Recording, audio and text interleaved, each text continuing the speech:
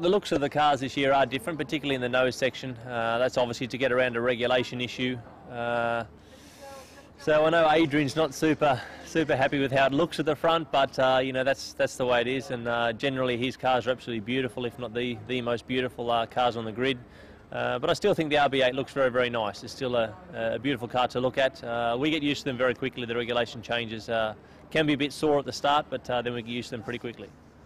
Oh, it'd be fantastic to win Monza. Obviously, the Italian Grand Prix, very, very passionate, a lot of history there, and of course your home race. I think uh, every driver would like to uh, to have a chance of winning their home Grand Prix, and uh, that's the two which uh, would be certainly towards the top of my list. And then after that, uh, any Grand Prix victory is uh, is very unique. It doesn't matter where it is. obviously, you know when the when I won the Hungarian Grand Prix a few years ago, you know it's not like the Australian Grand Prix, but it's still a, a very special place to win at, and um, you've got to grab the wins uh, because they're very, very special feeling.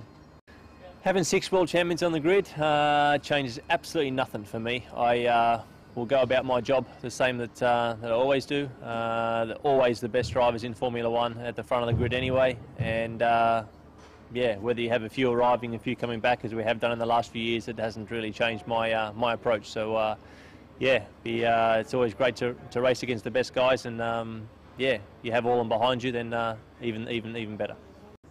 The races that I look forward to and the cities that I look forward to going the most generally are the ones that really embrace the Grand Prix. I think all the, the drivers and the photographers, mechanics, we're all the same. You know, so Montreal, Melbourne, uh, Monaco, uh, you know, Monza's a very good Grand Prix. You know, the races that really embrace us and uh, you know we can you know have a good atmosphere away from the track as well. They're the ones that uh, you know we really enjoy going to and competing at as well. My preparation for the 2012 season was uh, in Australia. Uh, I had some good downtime, but then also picked up my training and uh, did some surfing, did some mountain biking, uh, some quite key training towards my job, which was enjoyable and something different that, that we've incorporated. So enjoyed doing that, and um, preparation has gone very well. Testing has gone well, so looking forward to it.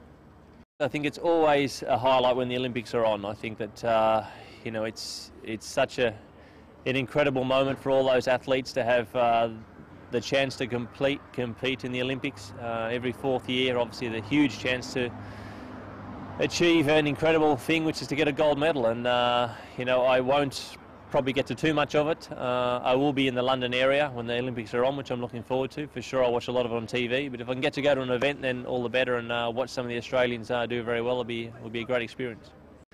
Yeah, F1's returning to America, uh, North America. It's uh, yeah, it's good to be back. I think that uh, it's such a big market, it's such a, a, powerful country and nation when it comes to sport, and also uh, commercially for our for our for our uh, industry and, and, business as well in terms of Formula One. So it's good to be back there. Uh, give them a nice, I suppose, reward after the, the last time we were there in Indianapolis, which was a bit of a a shame how the race ended up there. So uh, in terms of not being able to do the Grand Prix for technical issues, so I think it's we're all looking forward to going back. They always embrace us well, and uh, yeah, looking forward to it.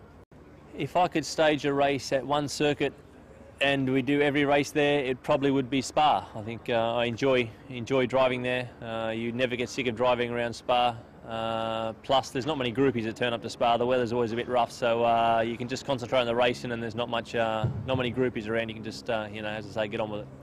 I always get a buzz out of meeting military people, people that have uh, uh, pushed themselves to the limit uh, for, for military purposes and so for fighting for their country. Uh, you know, some of those uh, people are very, very brave, so I enjoy, you know, meeting them and have the utmost respect for, for what they do. On a sporting note, less serious obviously, but still serious if you like, Sir Alex Ferguson, I think what he does at Manchester United in terms of running the club, uh, dealing with uh, the young egos, different cultures, different players, how they go about things, and constantly, um, you know, getting the results. Uh, you know, it's it's there's not a sport or a, a captain of industry, I suppose, that wouldn't uh, have admiration for Sir Alex Ferguson.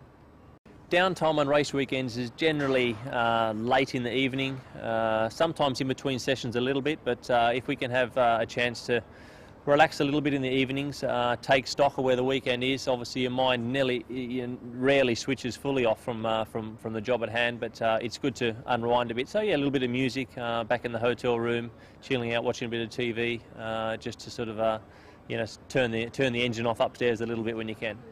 I'll probably go for a stunt helicopter pilot. Actually, I'd like it was pretty pretty awesome to be pretty on top of things in a helicopter as a stunt pilot. So uh, something pretty bizarre and as extreme as that would be pretty handy to be good at. I mean, snow skiing, golf, and all the things which you'd all love to be good at, but. I can do all of them, not very well, but I can do all of them, so uh, I've experienced them. But doing something that you really can't do would be a, a good, good buzz.